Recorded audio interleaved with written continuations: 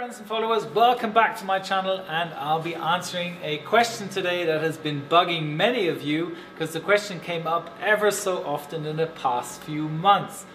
Joe, why is the vertical stabilizer or tail fin rudder of an Airbus always pointing into the right direction when being parked at the gate? Uh, 1383, runway 27, clear takeoff.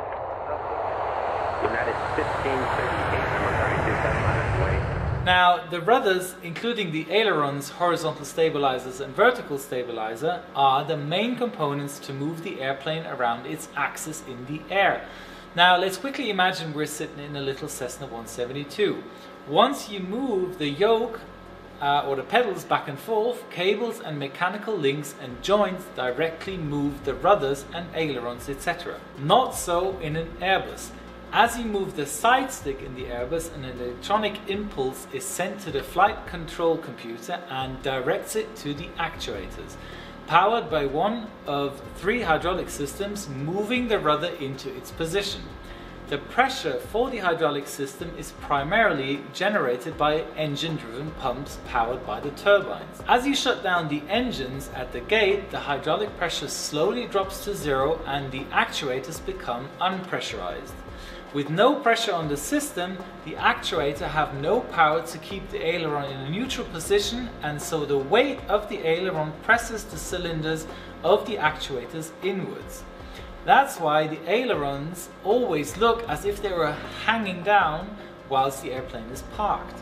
And the main rudder, well that's exposed to the wind and will either point in the right or the left depending on the wind direction. So the next time you're at the airport, look out when you see an Airbus starting up the engines and you will see that the ailerons will move into a neutral position as soon as one engine is running. Please don't get this wrong, the fly-by-wire and hydraulic system are very complex systems. This is just a very tiny little insight. There will be a video out soon about those in much more detail. I hope you enjoyed this short little video. Make sure to subscribe my channel so you don't miss any upcoming videos and spread the word, share the video on Facebook with your friends and see you soon. I wish you all the best. Your Captain Joe.